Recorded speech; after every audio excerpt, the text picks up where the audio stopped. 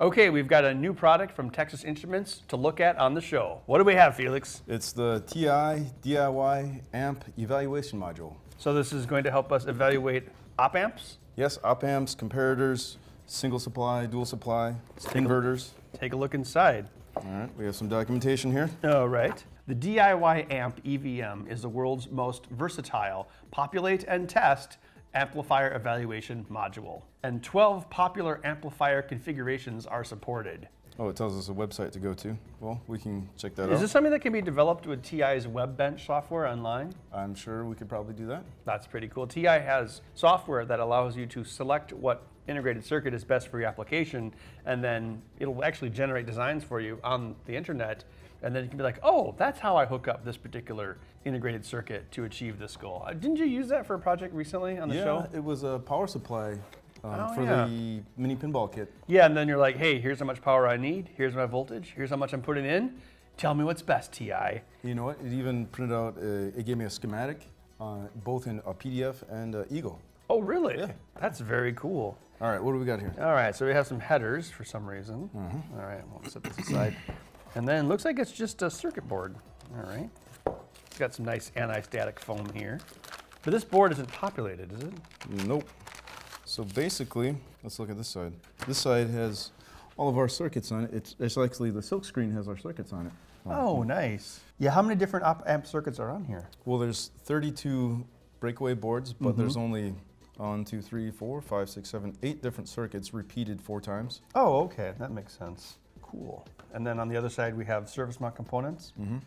Oh, looks pretty cool. Oh yeah, so if you're trying to do something with a operational amplifier, instead of soldering up in a breadboard, which might not work quite right, this is already optimized for a PCB layout, so you'll have less noise and other transients affecting your design. So you can simulate it online using WebBench, but then when you're ready, you can use this evaluation model to test it in the real world. Cool. Yeah, um, it supports three different um, uh, amplifier packages: um, SC70, uh, 5, SC75, and uh, SOIC8, and then also uh, SOT235. Most of these look like SOIC 8. Yep, the, that's actually the model that we have. DIY Oh, okay. SOIC. So if you had different packages, you would get a completely different board for that. Mm-hmm. Yep. Got it. Got it. And uh, for the passive components, it supports 0805 or 0603. Okay, so there's actually three versions of this board. There's SC70, SOT23, and SOIC. And we have the SOIC version, Mm-hmm. which is your typical surface mount eight pin package. Pretty cool. So yeah, um, it's easy to use. We can evaluate circuits in the real world, and we can verify our simulations in minutes, because it's always good when you do it for real. And these connectors here, these allow us to attach um, like BNC type connectors for input and output. We have three different types of connection SMA, header, or wire. Okay. We have a few of those plugs, don't we? Yep. Let's take a look. All right, so here are the SMA connectors. Cool. Oh yeah, these here must be the comparators. In and out, positive, negative.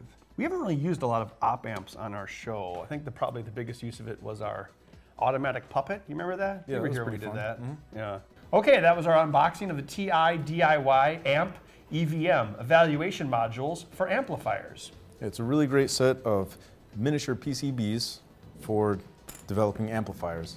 Yeah, I mean, it's surface mount, it's really nice. Uh, we often use little breakout boards for other circuits like uh, SOIC 16, TSOP, and whatnot, and those are really handy. Well, this is pretty much the same thing, but for amplifiers. So instead of trying to breadboard something and have a bunch of transient noise in your design, you can use something that's basically already designed to be the most optimal placement for your components and slap on your amplifier and go to town.